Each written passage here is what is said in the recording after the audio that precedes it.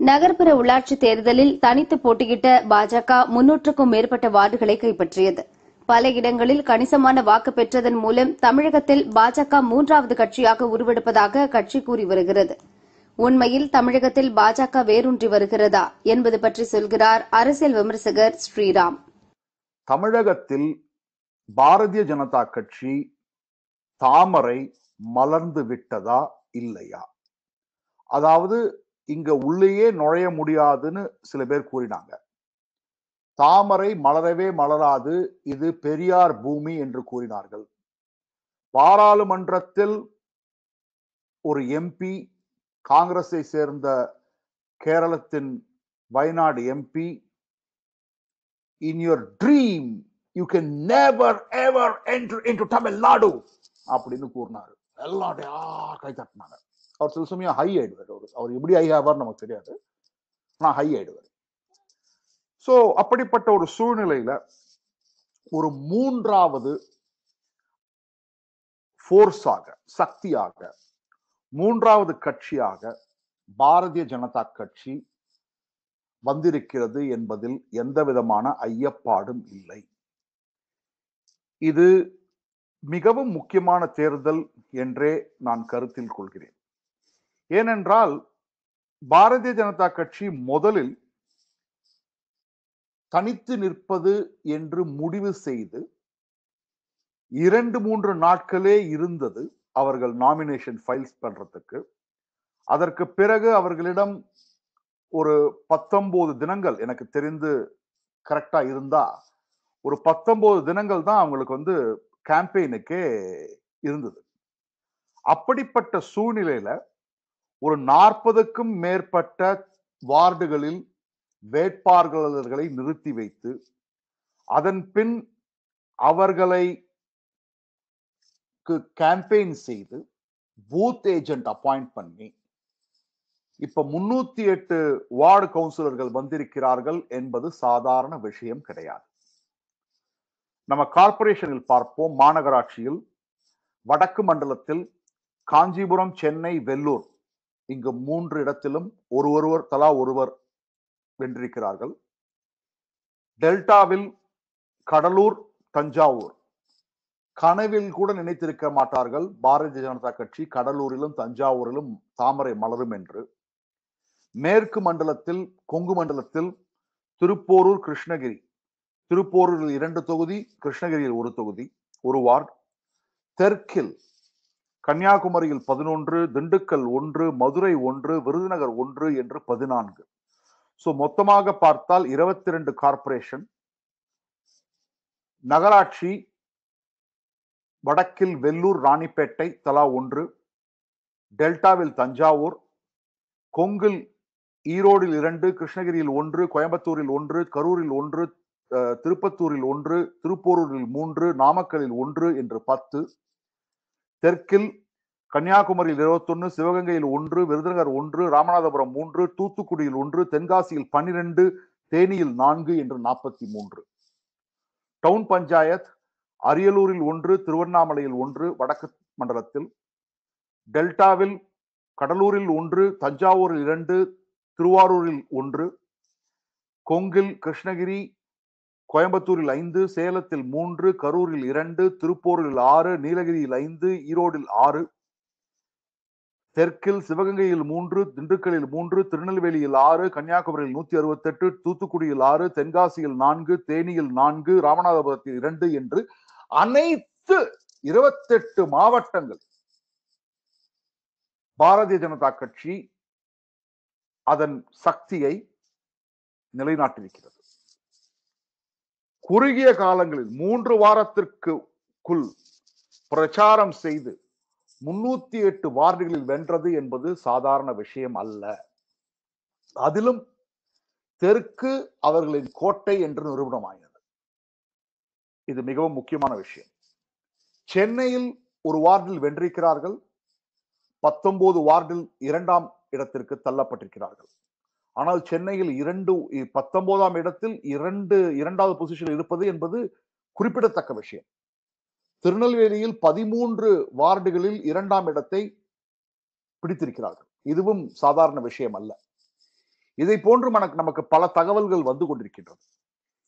இதை பற்றி சொல்ல வேண்டும் என்றால் இப்பொழுது காங்கிரஸ் கூறலாம். நாங்க தான் மூன்றாவது கட்சின்னு. ஆனால் அவர் கூறுவதற்கு எப்படி மனம் வருகிறது என்பது எனக்கு தெரியவில்லை. ஏனென்றால் ஒன்று கூட்டணியில் நின்று ஜெயித்தார்கள். ரெண்டாயிரத்தி ஒன்பதில் ரெண்டாயிரத்தி ஆறில் திமுக ஆட்சி அமைத்தது அதிமுக எதிர்கட்சி மூன்றாவது சக்தியாக கூறப்பட்டது விஜயகாந்தின் கட்சி. ஏனென்றால் தனித்து போட்டியிட்டார். அதே போல் ரெண்டாயிரத்தி இருபத்தி ஒன்றில் திமுக கூட்டணி ஆட்சி அதிமுக கூட்டணி எதிர்கட்சி ஒரு இடத்தில் கூட வெல்லவில்லை என்றாலும் மூன்றாவது சக்தியாக நாம் அனைவரும் பார்த்தது நாம் தமிழர் கட்சி. ஏனென்றால் ஆறு புள்ளி எட்டு சதவீதம் ஓட்டை வாங்கி வாக்கு வாங்கினார்கள். நமக்கு கிடைத்திருக்கும் தகவல் இது அதிகாரப்பூர்வமான தகவல் அல்ல. ஐந்து புள்ளி ஐந்து சதவீதம் வாக்குகள் பாரதிய ஜனதா கட்சி அனைத்து மாவட்டத்திலும் பெற்றிருக்கிறதாகவும் பர்டிகுலர்லி கண்டெஸ்ட் பண்ண இடங்களில் அவர்கள் போட்டியிட்ட இடங்களில் பனிரெண்டு சதவீதம் வாக்குகளை பெற்றதாகவும் நமக்கு தகவல்கள் வருகின்றன. சோ அப்படி இருக்கும் பொழுது கண்டிப்பாக அவர்கள் மூன்றாவது சக்தி என்பதில் எந்த விதமான சந்தேகமும் இல்லை. சாம்பிளுக்கு வேணால் இதை எடுத்துக்கங்க. திருநெல்வேலி கார்பரேஷனில் பாரதிய ஜனதா கட்சி வாங்கிய வாக்குகள் பதினெட்டாயிரத்தி ஐநூத்தி இருபத்தி ஏழு ஒன்பது சதவீதம். காங்கிரஸ் வென்ற வாக்குகள் பெற்ற வாக்குகள் ஐயாயிரத்தி நானூத்தி இருபது. இதிலிருந்து நமக்கு தெரிகிறது யார் இரண்டா மூன்றாவது கட்சி என்பது. அதே போல் கோயம்புத்தூரில் நமக்கு வரக்கூடிய தகவல்களை வைத்துதான் நாம் பேச முடியும். இப்பொழுது வரக்கூடிய தகவல் கோயம்புத்தூரிலிருந்து காங்கிரஸ் வாங்கிய வாக்குகள் பதினாறாயிரத்தி அறுநூத்தி ஆறு ஒன்று புள்ளி ஒன்பது சதவீதம். பிஜேபி வாங்கிய வாக்குகள் எழுபத்தி இரண்டாயிரத்தி முப்பத்தொன்பது வாக்குகள் ஆல்மோஸ்ட் ஒன்பது சதவீதம். சோ இன்றைக்கு தமிழகம் முழுவதும் தென்னகத்தை கோட்டையாக கொண்டு கொங்கில் ஒரு போட்டியாக இன்று வந்திருக்கிறது பாரதிய ஜனதா கட்சி. இதை நம்ம பார்க்க வேண்டிய இன்னொரு முக்கியமான விஷயம் சென்னையில் நாற்பத்தி மூன்று சதவீதமே வாக்குகள் கிடைத்தன. வாக்குகள் பதிவாயின. அதே போல் கோயம்புத்தூரில் ஐம்பத்தி மூன்று சதவீத வாக்குகளே பதிவாயின. கோயம்புத்தூரில் பாரதிய ஜனதா கட்சி ஒரு வார்டு கூட வெல்லவில்லை என்பது குறிப்பிடத்தக்க விஷயம். அங்க வெல்லக்கூடாது என்று ஒரு கூட்டமே வேலை செய்தது. பணம் விளையாடியது. ஆயிரக்கணக்கில் பணம் விளையாடியது. தேர்தலுக்கு முன்தினம் பத்தாயிரம் ரூபாய் வரை ஒரு வீட்டிற்கு கொடுக்கப்பட்டது. வெள்ளி கொலுசு கொடுக்கப்பட்டது.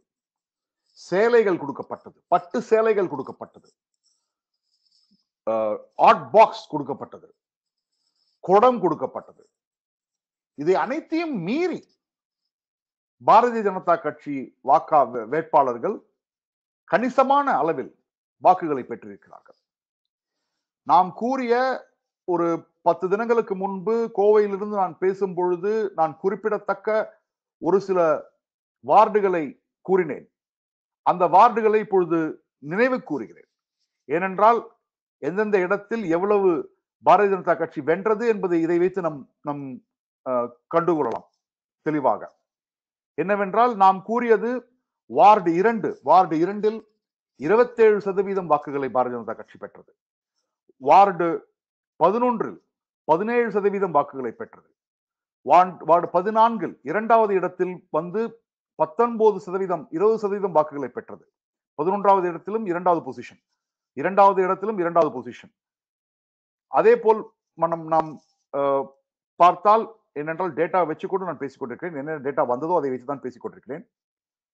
அதே போல் இருபத்தி எட்டில் அங்கு பாரதிய ஜனதா கட்சி முன்பு இல்லவே இல்லை. இப்பொழுது இருபத்தி மூன்று சதவீதம் வாக்குகளை வென்றது. அதே சமயம் ஐம்பத்தி மூன்றில் இருபது சதவீதம் வாக்குகளை வென்றது. அறுபத்தி ஏழில் இருபத்தி மூன்று சதவீதம் வாக்குகளை பெற்று இரண்டாம் இடத்திற்கு வந்து அதிமுகவை மூன்றாம் இடத்திற்கு தள்ளியது. அறுபத்தி ஒன்பதில் இருபத்தைந்து சதவீதம் வாக்குகளை பெற்றது. அதிமுகவுக்கு நினை இணையாக வாக்கு பெற்றது. எழுபத்தி ஒன்றில் இருபத்தொன்பது சதவீதம் வாக்குகளை பெற்றது. சோ மொத்தத்தில் பார்த்தால் நாம் கூறிய முக்கியமான தொகுதிகளில் பாரதிய ஜனதா கட்சி இரண்டாம் இடமோ மூன்றாம் இடமோ கணிசமான நாம் கூறிய முக்கியமான தொகுதிகளில் இருபது சதவீதத்திற்கு மேலாக வாக்குகளை பாரதிய ஜனதா கட்சி பெற்றது. இது கோயம்புத்தூரில் கொடுக்கப்பட்ட அனைத்து பரிசு பொருள்களையும் மீறி நடந்த விஷயம் இது. பாரதிய ஜனதா கட்சிக்கும் அதிமுகவுக்கும் கூட்டணி இருந்தால் அந்த கூட்டணியில் பாரதிய ஜனதா கட்சியின் வலுவோடு நாம் கூறுவது பாரதிய ஜனதா கட்சியின் வலுவோடு பத்து இடங்களில் வென்றிருப்பார்கள். அதிமுக வலுவான கட்சி என்று என்பது என்பதால் அந்த அதிமுகவின் ஆதரவோடு இன்னும் பல வார்டுகளில் வென்றிருக்க கூடும் என்பது யதார்த்தமான உண்மை. அதற்கப்புறம் ஒரு முக்கியமான விஷயம் நீங்க பாக்கணும்னா கோயம்புத்தூர் அப்படியே பிரிச்சு எடுத்திருக்காங்க. வார்டெல்லாம் மாறி இருக்கு பூத் எல்லாம் மாறி இருக்கு. பூத் எங்கன்னு தேடிக்கிட்டு மக்கள் கஷ்டப்பட்டு இருக்காங்க சோ அப்படிப்பட்ட ஒரு தருணத்தில் இந்த தேர்தல் இப்பொழுது எதை பொறுத்த மட்டும் குறிப்பிடத்தக்க விஷயம்? டெல்டாவில் காலொன்றுதான் அது ஒரு மிகப்பெரிய விஷயம். இப்பொழுது பாரதிய ஜனதா கட்சியை பொறுத்த மட்டும் ஒத்த ஓட்டு பாஜக என்று கூறுவார்கள். ஒத்த ஓட்டு திமுக என்பது நிலையானது. நேற்றைய தினம் ஒரு டிவி விவாதத்தில் நான் கூறிய போது ஆஹ், நெறியாளர் என்னிடம் கூறினார் வார்டு நான்கில் முருகன் என்பவர் சுயேச்சை திராவிட முன்னேற்ற கழகத்தை சேர்ந்தவர் அல்ல என்று. ஆனால் இன்று நமக்கு எவிடன்ஸுடன் வந்தது தகவல் அவர் பார் திராவிட முன்னேற்ற கழகத்தை சேர்ந்தவர் என்பது அவருடைய நாமினேஷன் ஃபார்மில் இருக்கிறது. அவர் பெற்ற வாக்குகள் ஒன்றே ஒன்று. அறுபது இடங்களில் திராவிட முன்னேற்ற கழகம் வென் டெபாசிட்டை இழந்தது என்பதை குறிப்பிடத்தக்க தகவலாக இங்கு கூற விரும்புகிறேன். திராவிட முன்னேற்ற கழகம் வாக்காளர்களிடம் சென்று நாங்கள் தான் ஆட்சியில் இருக்கிறோம். ஆதலால் எங்களுக்கு வாக்களித்தால் தான் உங்களுக்கு சலுகைகள் கிடைக்கும். மாற்று எண்ணம் கொண்டு வேறு கட்சிக்கு வாக்களித்தால் உங்களுக்கு சலுகைகள் கிடைக்காது என்பதை கூறியதை மிகவும் சீரியஸாக எடுத்துக்கொண்டு மக்கள் திராவிட முன்னேற்ற கழகம் கூட்டணிக்கு வாக்களித்திருக்கிறார்கள். அதே போல் இன்றைக்கு திராவிட முன்னேற்ற கழகத்தை சேர்ந்த தலைவர்கள் அறிந்து கொள்ள தெரிந்து கொள்ள வேண்டியது ஒரு முக்கியமான விஷயம் இருக்கிறது. முதலமைச்சர் திராவிட முன்னேற்ற கழகம். தமிழகத்தில் இருக்கும் அனைத்து அமைச்சர்கள் திராவிட முன்னேற்ற கழகம். தமிழகத்திலிருந்து முப்பத்தி ரெண்டு எம்பிக்கள் திராவிட முன்னேற்ற கழகம். கணிசமான எம்எல்ஏக்கள் Dravida Munnetra Kazhagam. Mayor chairperson of municipality town panchayat அனைத்தும் திராவிட முன்னேற்ற கழகம். பெரும்பாலான வார்டு கவுன்சிலர் திராவிட முன்னேற்ற கழகம். மொத்த அதிகாரத்தையும் மொத்த சக்தியையும் மொத்த பவரையும் மக்கள் திராவிட முன்னேற்ற கழகத்திடம் கொடுத்திருக்கிறார்கள். அப்படிப்பட்ட தருணத்தில் திராவிட முன்னேற்ற கழகம் தாங்கள் கொடுத்த வாக்குறுதிகளை நிறைவேற்றவில்லை என்றால் எந்த விதமான எக்ஸ்கியூஸும் கூற இயலாது.